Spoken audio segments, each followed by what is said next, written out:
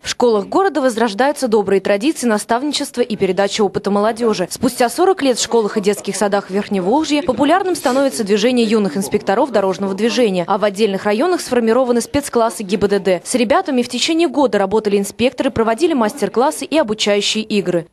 Сегодня проводится у нас ежегодный конкурс соревнования среди школ города Твери. Это среди инспекторов, юных инспекторов дорожного движения называется «Безопасное колесо 2013 года».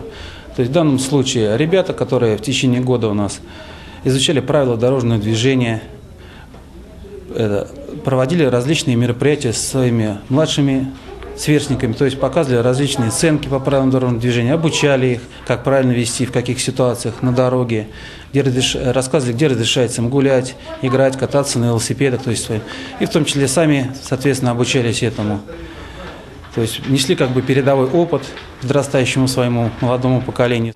Участникам соревнования предложено несколько испытаний. Экзамен на знание правил дорожного движения, умение оказывать первую медицинскую помощь, фигурное вождение велосипеда и креативный этап рисования плакатов. Этот конкурс – ступенька к областному соревнованию, победители которого поедут на всероссийский этап. Конкурс так у нас юный регулировщик в данном случае проводится.